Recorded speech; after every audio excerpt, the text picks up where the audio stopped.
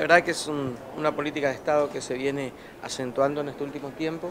Yo quiero eh, destacar la tarea del ministro de Turismo, del subsecretario, por tomar esta iniciativa de generar estos espacios de, discusión, pero también espacios este, de crecimiento y de desarrollo en un área del turismo que en la provincia de Misiones tiene un potencial impresionante.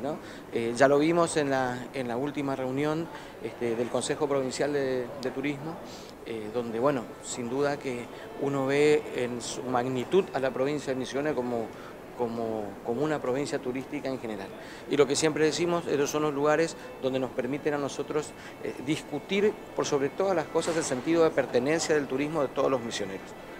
Todos los misioneros debemos sentirnos este, parte y gran parte de la responsabilidad de potenciar el turismo en nuestra provincia, de cualquier lugar, no solamente los lugares que históricamente son reconocidos como lugares turísticos, sino también aquellos otros lugares que en este último tiempo, gracias a las políticas públicas de, de este gobierno, se han potenciado muchísimo.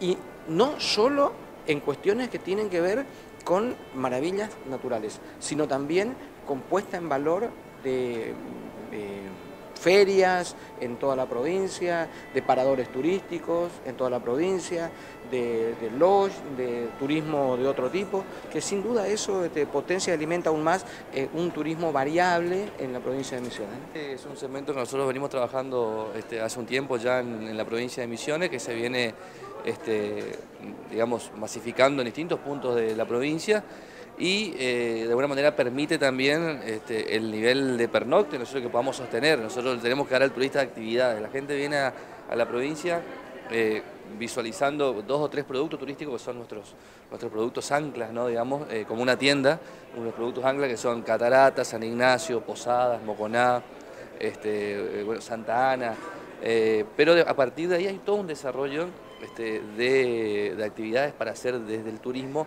en donde el turismo rural juega un papel fundamental, ¿no? porque fundamentalmente eh, este, se trata de la experiencia turística. ¿no? De, nosotros, por ejemplo, a ver, la gastronomía, comemos un plato y sabemos de que la mandioca que, estamos comiendo es una mandioca que se cultiva acá en Misiones, que están las chacras que se hacen en, la provincia, que, hay un colono que es el que la cultiva, cómo la hace, bueno, todo eso es una experiencia que el turista quiere saber quiere conocer y bueno, y este, este segmento es el que se ocupa de eso.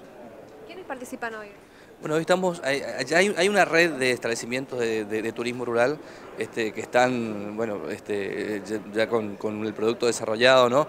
Pero también estamos motivando e incentivando fundamentalmente a los estudiantes de la carrera de turismo y este, también motivando a aquellos que tienen una chacra. Estamos trabajando con la gente del INTA, con la gente de agricultura familiar, con la gente del IFAI, de la gente del agro, eh, con toda esa red, digamos, de, chacras que hay en la provincia para que empiecen eh, a ver en el turismo una posibilidad, ¿no es cierto? Así que eh, por eso este foro de alguna manera va a ser una, vinculación entre todos ellos, a seguir este, tejiendo estrategias y también vinculando, ¿no? Vinculando con, gente que nos va a traer experiencia de Corrientes, de, Santa Fe, de Entre Ríos, este, bueno, especialistas que van a venir también a, de alguna manera este, plantear cuáles son sus desafíos.